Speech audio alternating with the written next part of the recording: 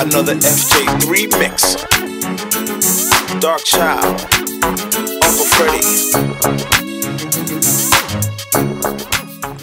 We'd like to take this time to welcome all of our first time and returning guests.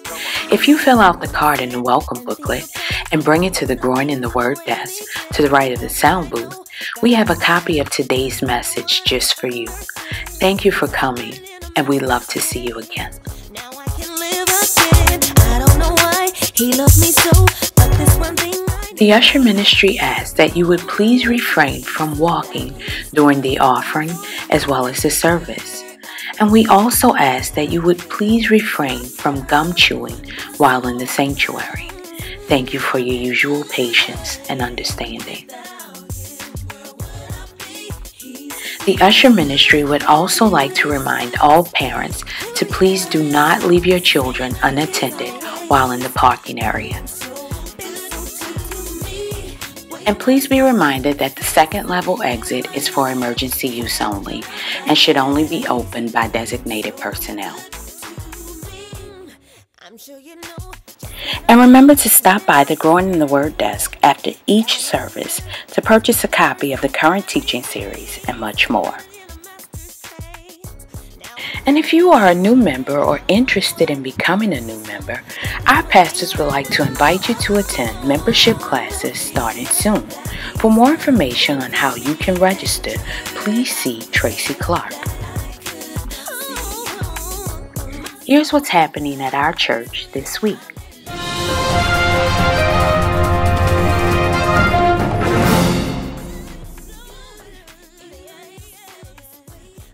Check us out online anytime at www.clbcfamily.org to get the latest in church news and events and listen to the weekly teachings from our pastors.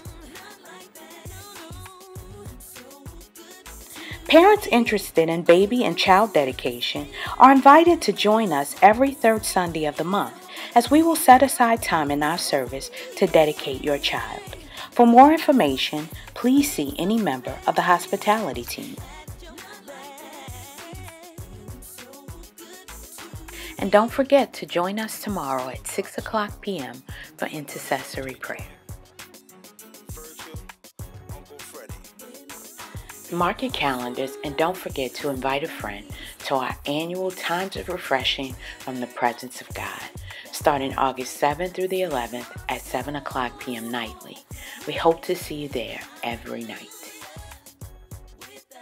In order to create the best possible atmosphere for this portion of our service, we ask that all cell phones and any other electronic devices be silenced out of respect for our speaker, audience members, and to improve recording quality. Please stand and welcome our pastor.